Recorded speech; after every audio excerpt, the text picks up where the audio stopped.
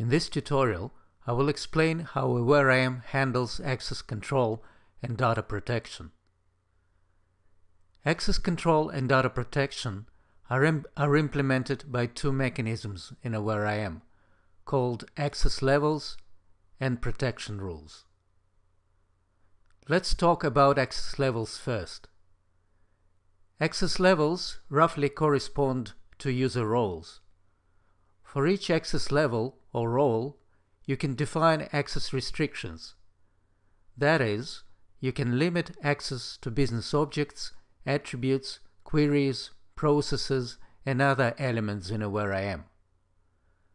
By default, AwareIM creates two access levels, administrator and guest. But you can add as many access levels as you like. The administrator access level has no restrictions by default. It can access any elements in the system. We will talk about the guest access level a little later in, in this tutorial. Let's look at an example of access levels. Let's recall our banking application that manages customers and their accounts. The account object has the state attribute.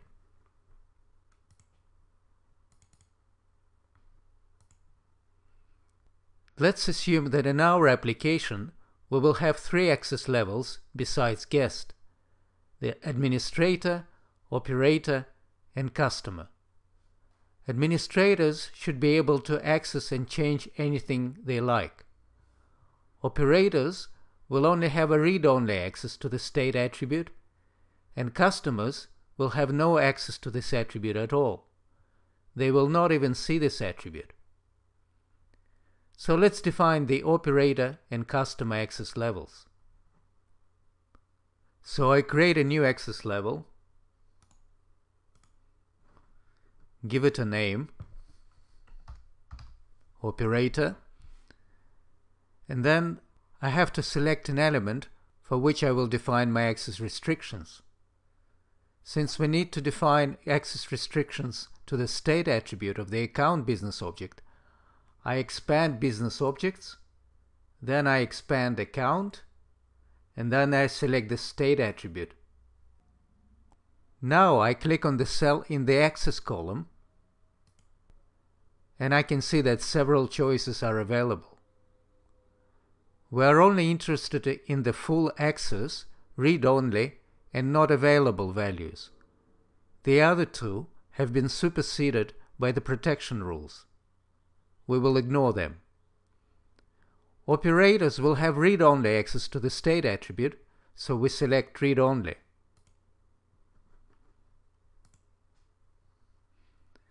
Let's now define the custom access level.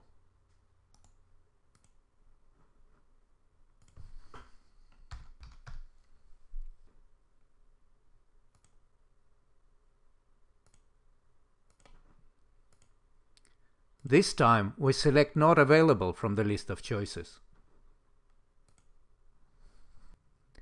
Now we need to log into the system as users with different access levels and test how this works. I will explain the login process in AwareIM in more detail now. There is a special business object group in AwareIM called System User.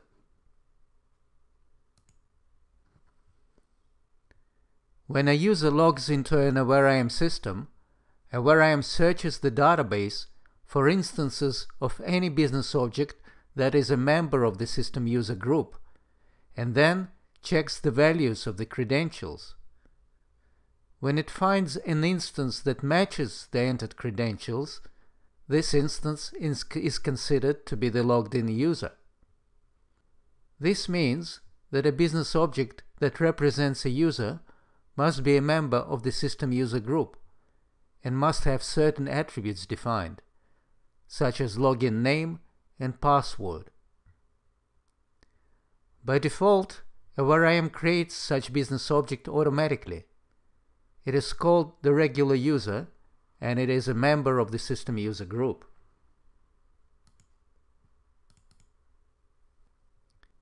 It has a number of predefined attributes login name, password, and a few others. In fact, all members of the system user group must have these attributes defined. When you add a member to this group, AwareIM will automatically add the required attributes. The attribute that we are particularly interested in is access level. The value of this attribute defines the access level of the logged in user. When AwareIM finds a match of credentials, it looks at the value of the access level attribute of the matched instance and considers it to be the access level of the user. So the value of this attribute is very important. You can see that our regular user object has the initial value of administrator for this attribute. When the system is first initialized, a single instance of the administrator is created. This is the instance that initially has admin and password credentials. The administrator can create other regular user instances and set the value of its access level explicitly. So let's do just this. Log in as administrator and create an operator for our system. Before we can test the application though, we need to make sure that we have visual perspectives for each access level defined. For more details about visual perspectives, please watch the visual perspectives tutorial. In our application, I will have the same visual perspective for all access levels.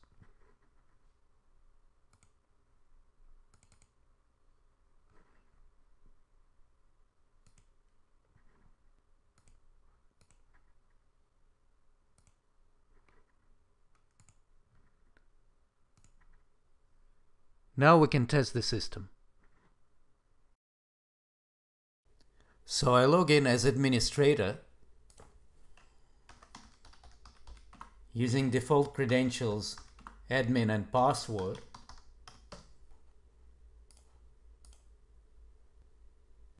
and now I can create a new instance of the regular user object.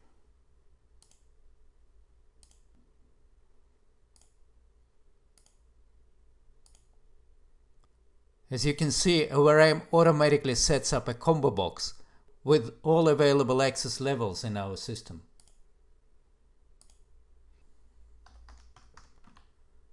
I will create a user with the name John and password John and select an operator as the access level of this user.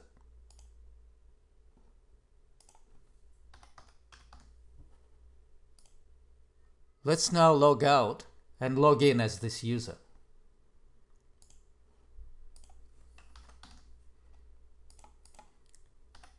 You can see now I'm specifying John as the login name.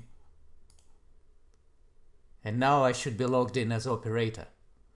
Let's try to create a, an account object. When AwareIM displays the form of this object, I can see that the state attribute is disabled I can change the balance attribute, but I cannot change the state attribute. Let's now look at the customer access level. We already have the object representing the customer. We want this object to log into the system with the customer access level, not the regular user object.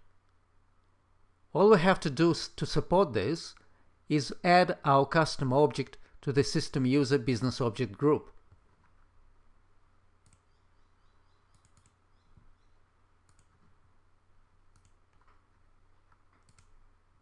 Note that as soon as I do this, AwareIM automatically adds a number of required attributes to the custom object, including login name, password, and access level.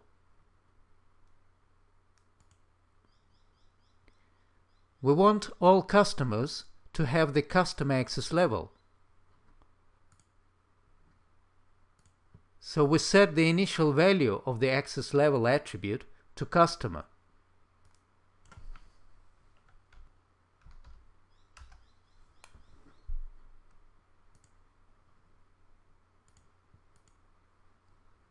We don't want anyone to be able to change this access level, so we need to make sure that the access level attribute is not present on the form of the customer.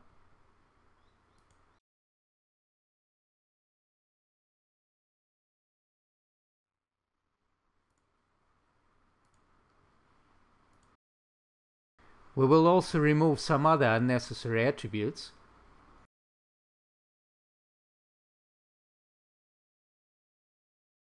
But we will leave the login name and password attributes there because administrators need to specify the login name and password.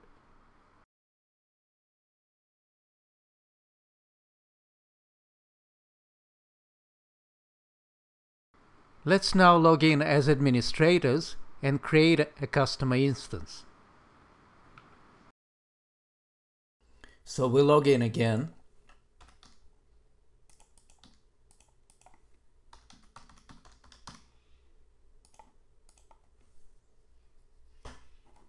And create a new customer.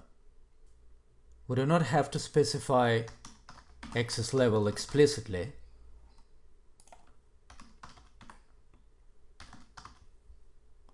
because it was set by the initial value.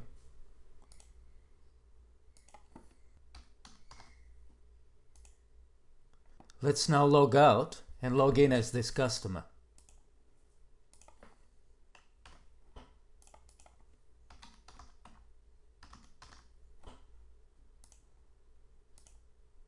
Now I'm logged in as a customer.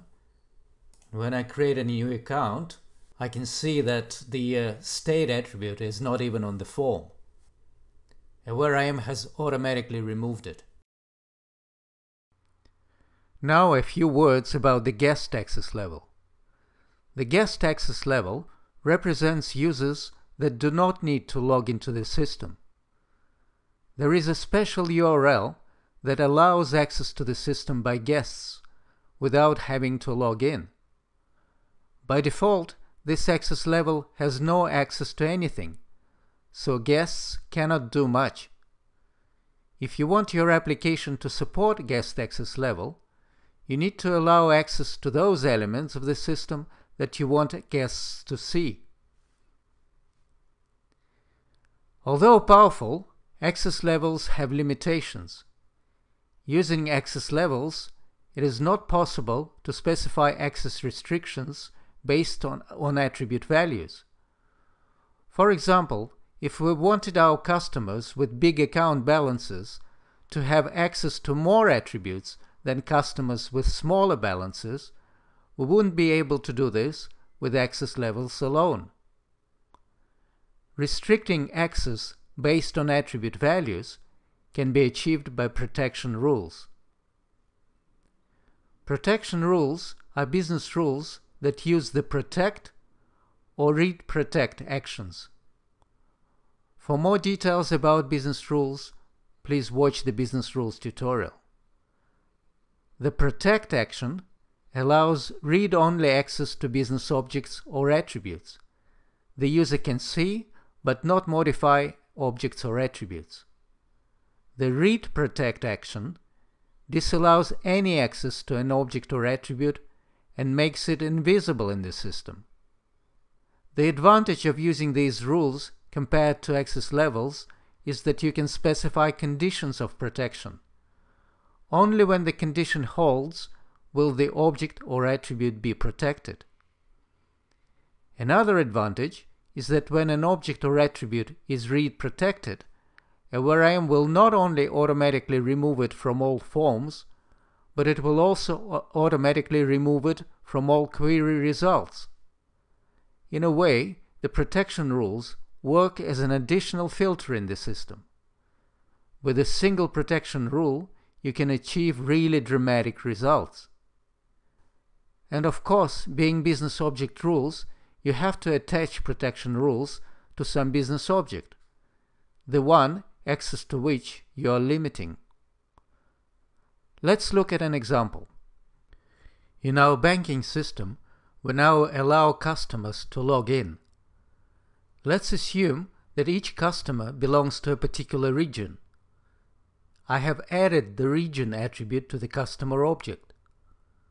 We will allow customers to look at the details of other customers, but only if other customers belong to the same region as the logged in customer. Also, we will not allow customers to change details of other customers, only their own.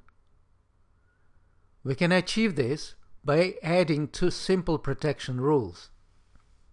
The first protection rule will protect the entire customer if the customer being viewed is different from the logged in customer. Obviously, the protection rule will be attached to the customer object.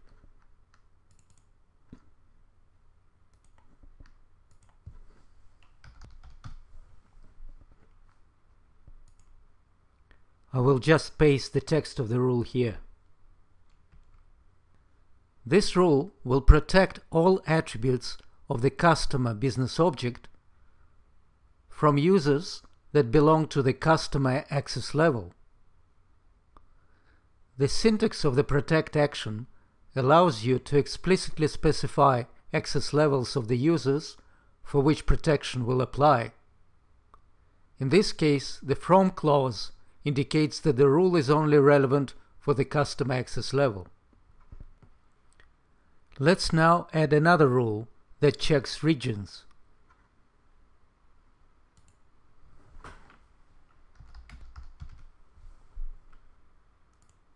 Again, I will just paste the text of the rule. So if the regions are different, we will not allow customers to see other customers at all.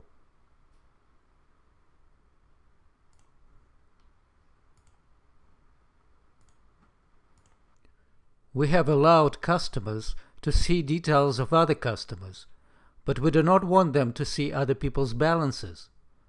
So let's add a rule to the account object that will protect its balance if the owner of the account is different from the logged in customer.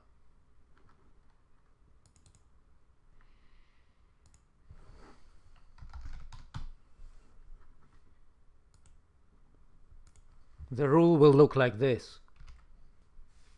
If owner of the account is different from the logged in customer, then read protect the balance from customer.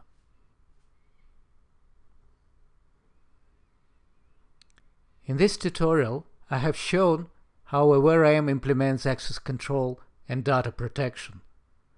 For more details, please refer to the user guide.